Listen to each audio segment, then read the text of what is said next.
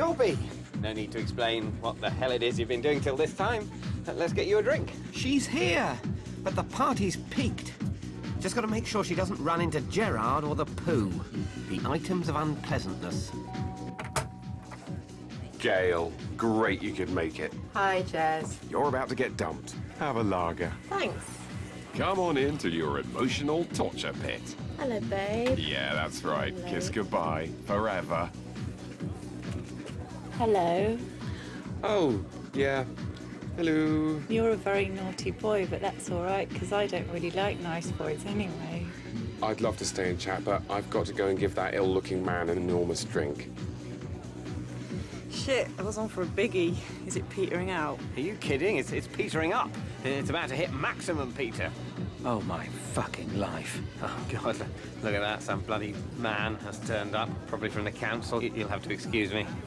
Hi there, uh, and welcome. Wh- wh- What a surprise. A party, thanks for the invite, Mark. It, it's more of a sort of gathering that snowballed into a get-together and mutated into a party. I was calling and calling, and Dad was down, so. Want to get everything sorted and above board, Mark. But obviously now isn't the right time. Oh, okay, they've showed up, have they? Okay, great. Come on then, let's do the hucklebutt right here, right bloody now. Well, maybe we should just bloody well get a few things sorted out. But, but I'm having a, a party? My party's been pooped. Jeremy, Dobby mustn't see Gerard. He, he's gone over the edge. Get rid of him. Aye, aye, Captain. Bet Archer never did baby negotiations at his parties. Or very rarely. You two can piss off out of it pronto. Jeff and Yvette from my book group. What kind of mad social chemist have I become?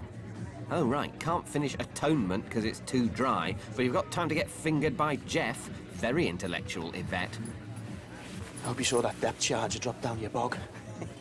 Something to remember me by. Oh my god, there's a twist in the tale. Of course, the butler did it. I'm so sorry, Suze. Okay, so the headline is We're not agreeing to sign a single page of this legal ball sack without visitation rights locked down. Um, th- th- that might be putting it a bit... What sort of visitation are you looking for, Mark? Saturdays, Sundays, and Thursdays. Three days. No, no, hold on. I, I was thinking about taking Italian lessons on Thursdays. Great. Now, Thursdays aren't good for him. What days do you want, Mark? I don't know, Easter and Shrove Tuesday? What's he? Salad spinner? Okay, that's not a bad place to keep it. Now, our broader contention is that Sophie's not a fit mother. What the fuck are you talking about? No, sorry, we, we don't mean that. What, what are you doing? It's a bargaining position. We ask for the whole baby. We get Thursdays and Wednesdays. But I don't want Thursdays. I, I want a parley Italiano on Thursdays. Sort it out, Mark. Brilliant party. Make mine a childcare and tonic. Oh, great. Reptile abuse.